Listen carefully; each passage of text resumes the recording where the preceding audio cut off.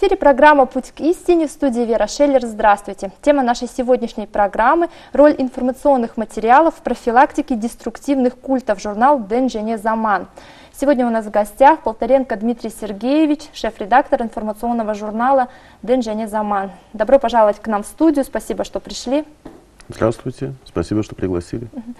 В этом году вашему журналу исполняется пять лет. Вот скажите, как вообще формировалось данное издание, что сделано за это время и чего все-таки добиться не удалось?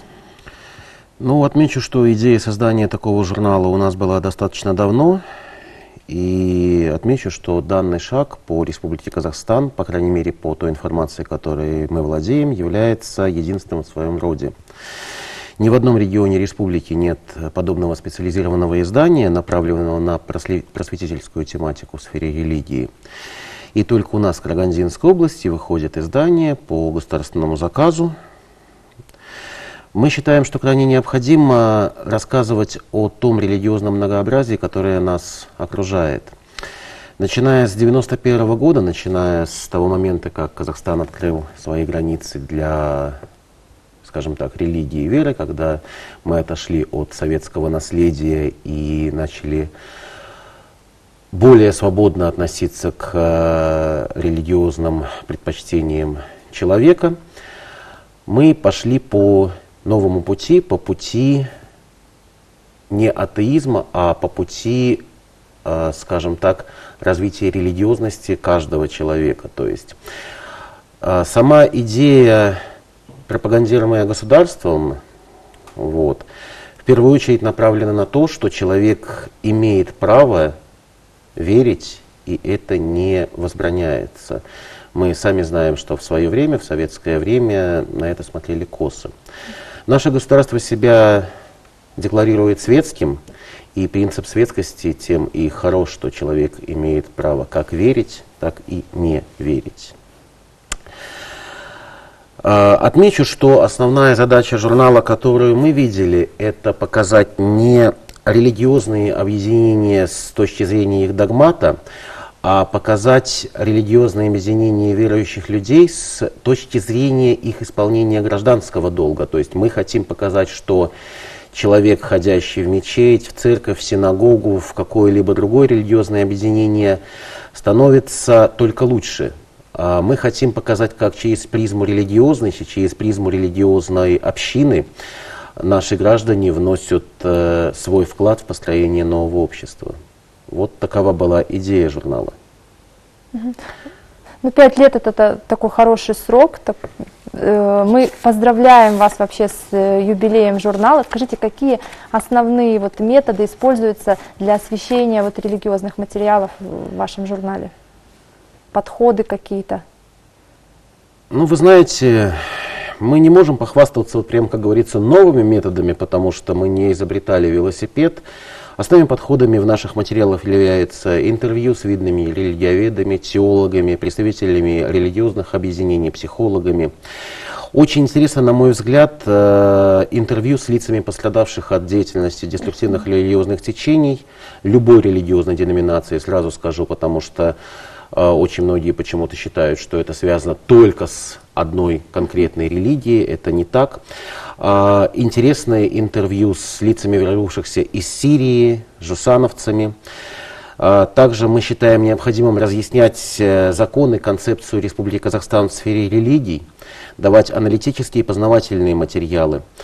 Но самое главное, что мы видим в журнале, это возможность собрать все вместе в одном месте, все угу. то, что касается религии. Потому что зачастую, несмотря на обилие информации, у нас возникает определенный не то что информационный вакуум, но определенное недополучение правильной информации. Мы стараемся вот эту нишу немножко заполнить. Угу. Тема очень серьезная, сложная, важная, несомненно, для общества. Скажите, насколько сложно вообще вот искать героев к таким материалам, насколько они активно идут на контакты и как работа? А, вы знаете, насколько сложно? Да все сложно и просто одновременно. Здесь первую очередь нужно понять, что это очень интересно, но очень важно тонкую грань не переступить. То есть а, очень важно, чтобы информация религиоведческого характера, информация, раскрывающая ту или иную религиозное объединение, не стала информацией, пропагандирующей то или иное религиозное объединение, потому что однозначно наша позиция, что нет плохих религий, нет плохих церквей, нет плохих мечетей. Есть люди, которые своим поведением, своим неправильным подходом к вере дискредитируют сами же свою церковь. Из-за этого очень важно показать, что мы разные, мы разные, в данном случае, если мы говорим, мы разные в религиозном плане, но именно эта наша разность при взаимном уважении делает нас единым целым. Вы правильно отметили, что грань действительно да, очень тонкая и очень сложно писать такие материалы. Э, скажите, как вообще можно прочитать ваш журнал, где он, как, как он выходит, каким тиражом? Вот? А, наш журнал выходит 4 раза в год, тиражом тысячи экземпляров. Распространяется он абсолютно бесплатно. А, путем почтовой рассылки он доходит до всех отделов внутренней политики и центров по работе с религиозными объединениями, Центр по изучению религий нашей области.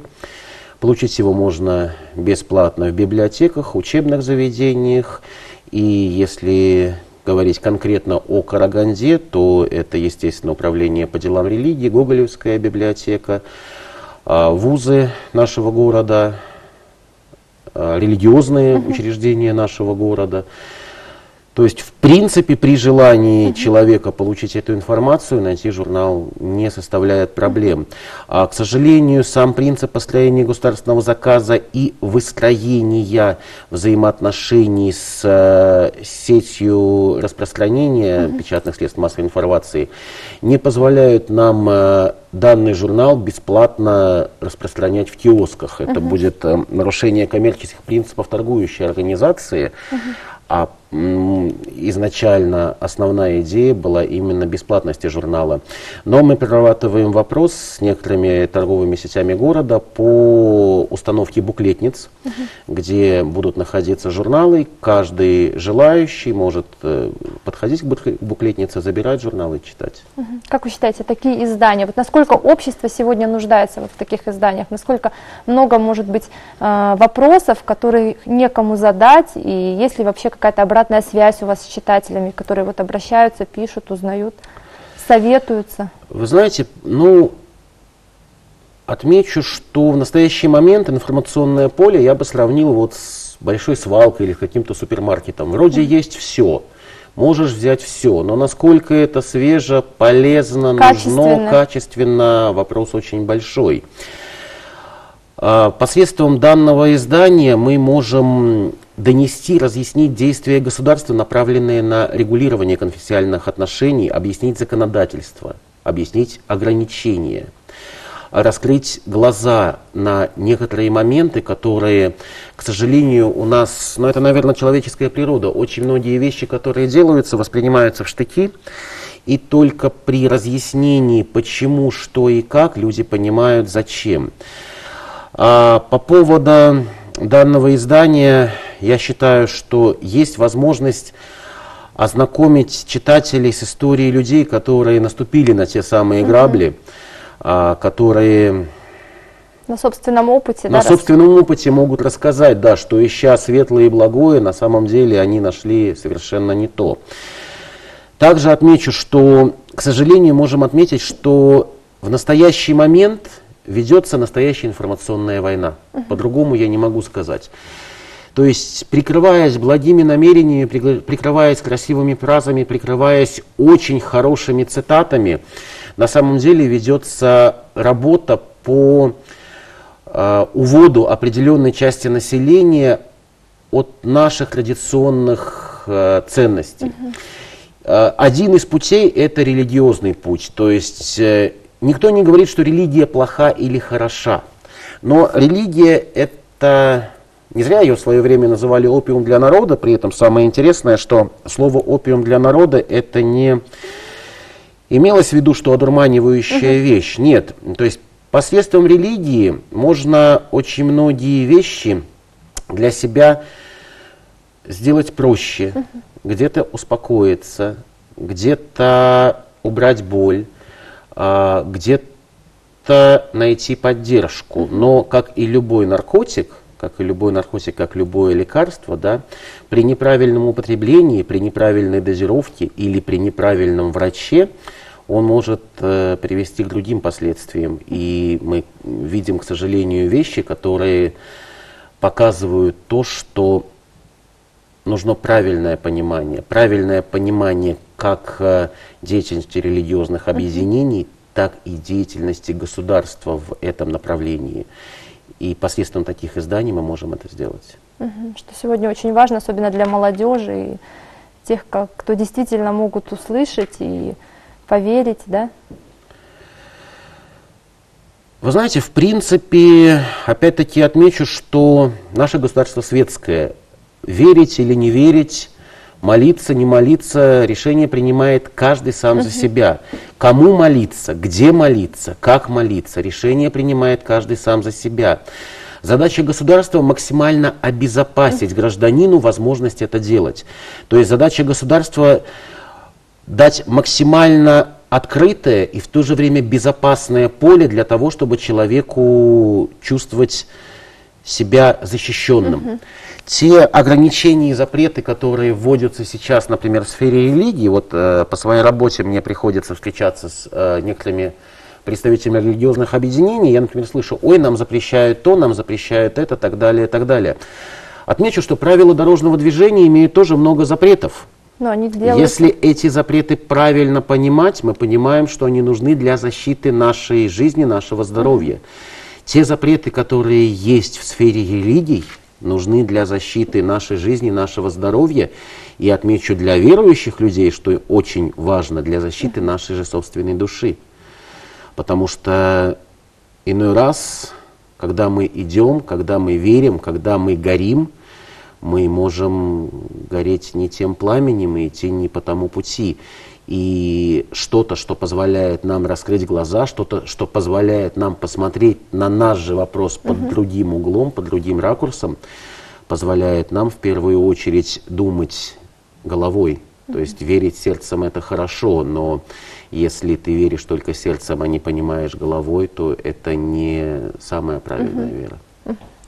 Вот в информационном поле нашей области много разъяснительных материалов, просвещающих деструктивные течения исламского направления. Как вы считаете, почему мы видим очень мало материалов христианского направления? Это касается э, просвещающих населения о положительном и, конечно, отрицательном воздействии на индивид данных культов, именно протестантских или неохристианских течений?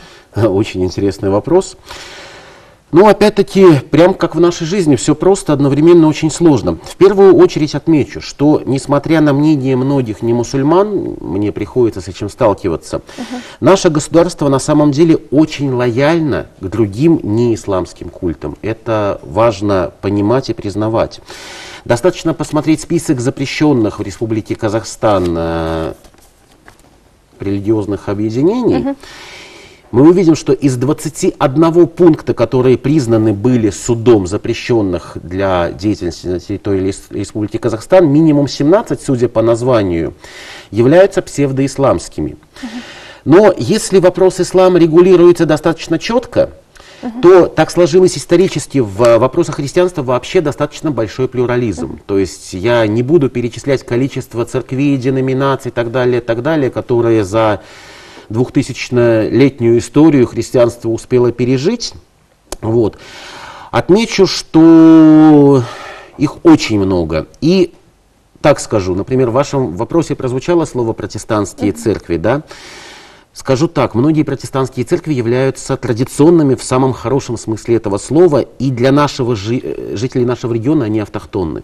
Я не буду их перечислять, но они несут только благое, только хорошее, они эти церкви, церкви которые являются семейными. А, когда мы рассказываем про такие объединения, мы хотим опять-таки рассказывать не о религиозной составляющей, а про жизнь общины, про вклад в общество, про взаимопомощь, взаимоуважение как внутри церквей, так и к окружающим.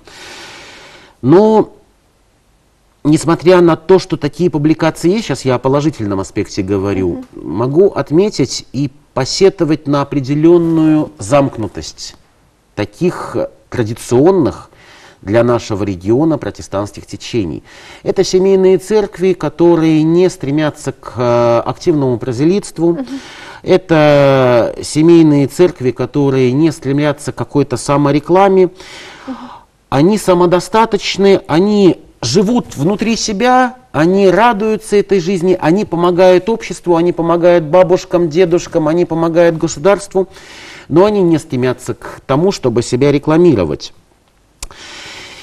А, также у нас в регионе есть новые, ну в кавычках говорю новые церкви, потому что они новые для региона. Христианского направления, тоже некоторые из них традиционны, некоторые нет, и вот приставка нео или псевдо тоже не вполне верная, потому что э, в данном случае пока не вынесено решение о том, что данная церковь является псевдохристианской, uh все-таки мы причисляем это к христианской церкви, любую церковь. Вот это наше наследие вот той самой открытости, когда к нам пришли миссионеры из других государств, при, приносили новую религию.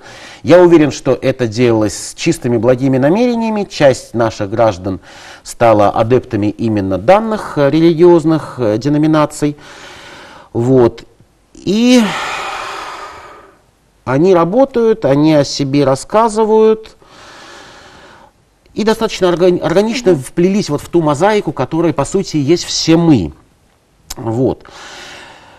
И на самом деле нам бы очень хотелось, чтобы читатели видели как раз работу и тех традиционных церквей, и этих не вполне традиционных, но в принципе церквей, которые работают на благо общества, каждый внося, вносит свою лепту, каждый вносит что-то для построения общего и чистого мира, скажем так.